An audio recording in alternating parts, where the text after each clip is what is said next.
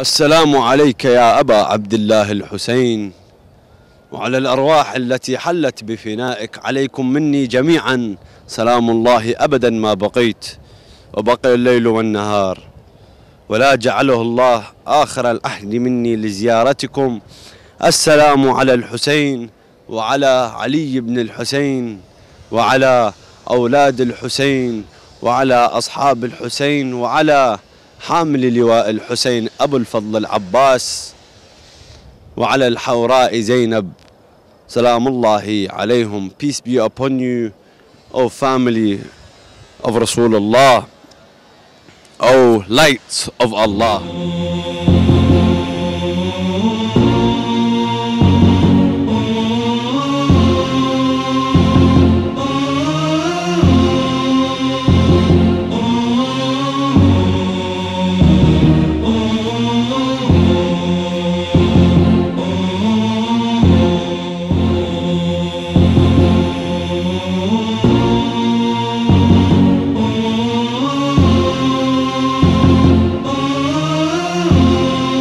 As you can clearly see, I am now standing next to the moon of the Hashemites, Abu Fadl al Abbas, peace and blessings be upon him, and all the Ahlul Bayt and all the Shuhada of Karbala.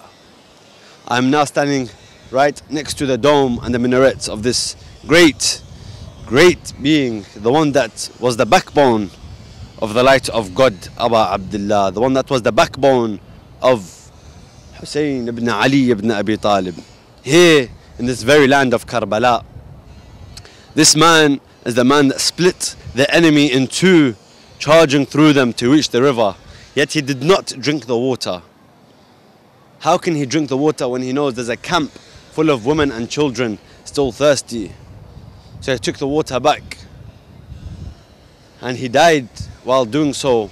And we learn from Abu Fadl, we learn that if you are doing something in the way of Allah, if you're doing something for the right reasons, then there should be nothing that stops you.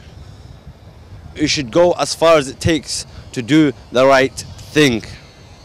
Alhamdulillah Rabbil Alameen, we have such a great teacher as Al Abbas ibn Ali, salamullah alayhi, and inshallah the whole world can take lessons from Karbala because Karbala taught every lesson that you can think of in that one afternoon lessons of bravery, lessons of patience, lessons of ibadah, lessons of ghira, lessons of everything, lessons of hijab. Every lesson you want was taught in Karbala. And Karbala is the greatest of schools.